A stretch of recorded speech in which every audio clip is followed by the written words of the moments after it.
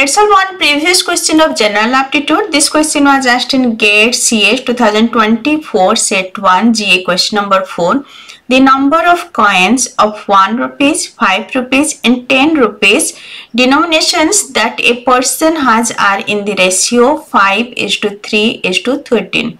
Of the total amount, the percentage of money in 5 rupees coin is and 4 options are given let we have 5 1 rupees 3 5 rupees and 13 10 rupees. So total amount will be 1 into 5 plus 5 into 3 plus 10 into 13 it's 150 now from that 150 rupees so 5 rupees make 5 into 3 it's 15 so it is asking how much percentage is 15 of total 150 so 15 divide 150 into 100, it's 10%.